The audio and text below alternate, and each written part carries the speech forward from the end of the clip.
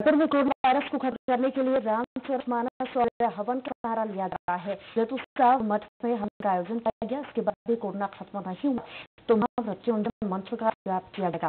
मंदिर के पुजारी ने बताया कि महामृत्युंजय मंत्र का जाप छह जुलाई से शुरू किया है जो तेरह अगस्त तक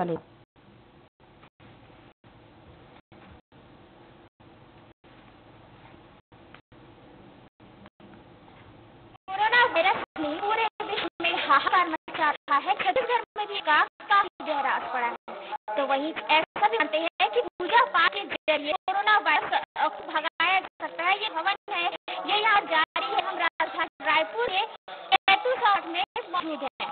तो हमारे साथ तमाम जानकारी के लिए जैतू समठ के पंडित जी मौजूद है। हम जानना चाहेंगे कि ये जो हवन है उसका फैसला लिया गया है, क्या कुछ जो निर्णय है, वो लिया गया तो कोरोना को भगाने के लिए जैतून मठ ट्रस्ट कमेटी ने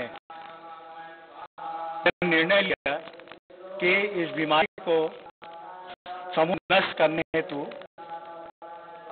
कोरोना जैसी बीमारी को समूह नष्ट करने हेतु ट्रस्ट के सचिव महेंद्र अग्रवाल जी ने ट्रस्ट बैठक में निर्णय लिया कि इसके लिए रामचरित मानस पाठ और महामृत्युंजय की जाप कराकर बीमारी नष्ट करने के किया, क्योंकि हम हमारी ये मान्यता है कि रामचरित मानस एक एक दो एक एक चौड़ाई एक मंत्र है और इससे ये लगातार अभी तेरह अगस्त चलेगा हवन का कार्यक्रम और प्रतिदिन रामचरित मानस के पाठ हो रहा है।